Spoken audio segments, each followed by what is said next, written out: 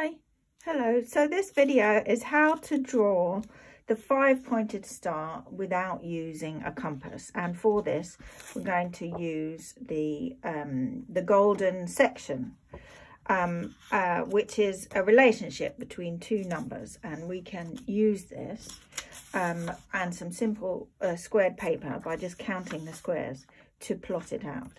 So to, uh, to establish the um, the golden section, we use the Fibonacci numbers. Now, I can get into the Fibonacci sequence, but that might have to be uh, something for another video. We just, uh, the Fibonacci sequence is an expression through numerical uh, numbers of the divine proportion, which is the golden section ratio that we want. So uh, these are the first numbers in the sequence. I'm just going to use these two, 13 and 21, because they fit on my page. So what I've done here is I've counted 21 squares across there on my squared paper. So that's 21. And then I've counted 13 from this end and 13 from this end. And this has determined where these lines fall that I've drawn out. So the relationship between this section and this is in the is in the golden section. The the ratio between them is the golden ratio, and the ratio between this bit um, and the whole is the golden ratio as well. So, and the it has a very special relationship to the number uh, to the five pointed star. So what I want to do with this is now that I've got uh, the sort of the the ratios, the relationship marked out, I want to cut this into strips of ribbon, if you like, which are sort of, I'm going to use these. These are sort of like very rough um, uh, calipers, if you like, uh, golden section dividers. That's what we're sort of going to do here. Uh, very, very rough. So I'm cutting it into ribbons, but, but I still want to be able to see where the uh, lines are that I've marked. I'm doing a block of two squares because I'm going to use the line down the centre of each as my accurate line. One, two, three, so I need five of these. Um, four, and five. Right, so I've got, actually got six there, so I need six, I need five. Right, so the ends we don't count, but we leave those on because we need them. And I've got my cork board and a piece of paper over it, and we're going to use some pins. So first off, we take the first one, and I'm going to put the pin through. Uh, see how I'm using that line in the center? That's going to that's where my actual line is. I'm going to pin this on roughly in the corner. Actually, I'm going to put another one on underneath it. Forgot about that. I'll show you what happens. So that they both go through the center. Pin that in place. Push them down.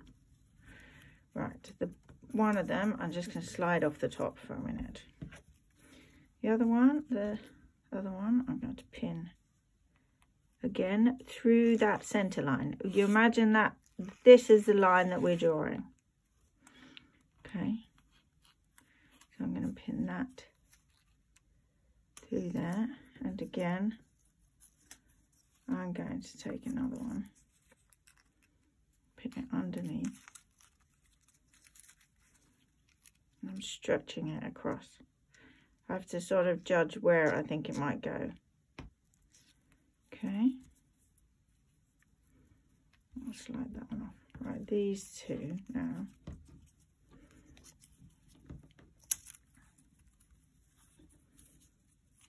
If I fit it on. Right, so now I'm taking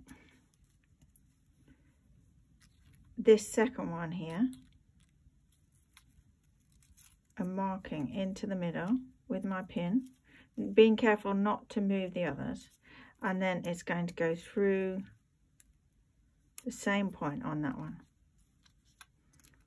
Okay, and you have to sort of keep them taut and find out where they naturally want to land. So you want to, you, these are very rudimentary sort of uh, golden section dividers. This is sort of like your compass.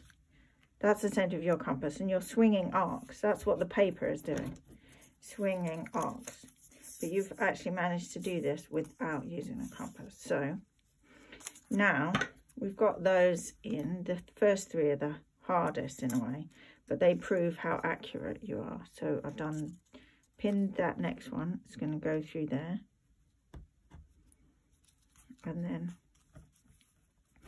it's not looking brilliantly accurate this because that should fall right onto that center there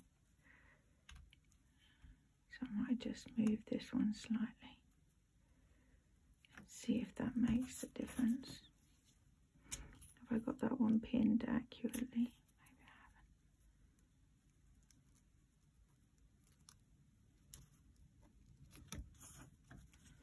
that's better so these you have to imagine that the center points of this are going to land I'll pin this so that you can see. That goes through there. It's going to land exactly there. Push it down. It's not quite flat and that's where our other point is going to be which we're going to use this last one to join up can you see what's happening pin that one in there. Those points land onto there, through the center there. And it's and then where these cross is where your last and they will cross in the middle, in the center as well. Fingers are freezing. I'm getting that in there. And then flatten that down there. Right. Now, I'm slightly inaccurate there.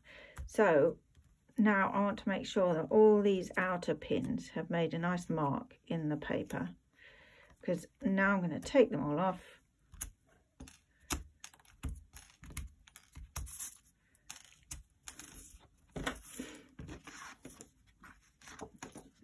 and where those points are or you can see I made two points there.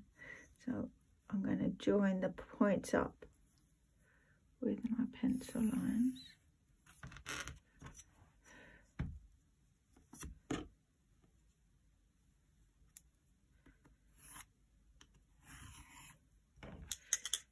And that one joins to there.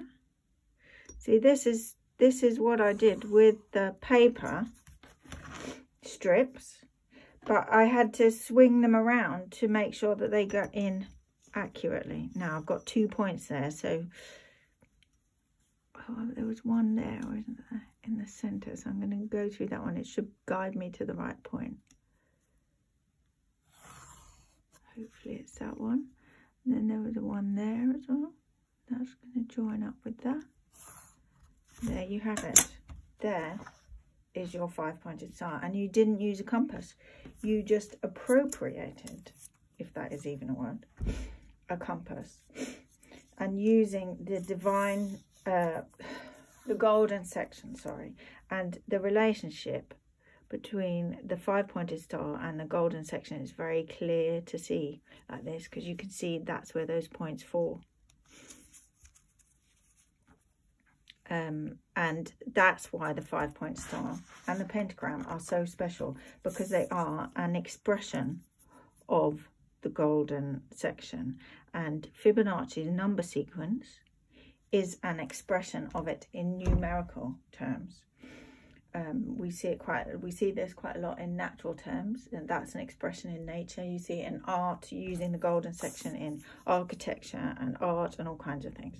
Um, so I wanted to show you how to do that, how to draw a star, a five-pointed star without using a compass. Ta-da! Thank you.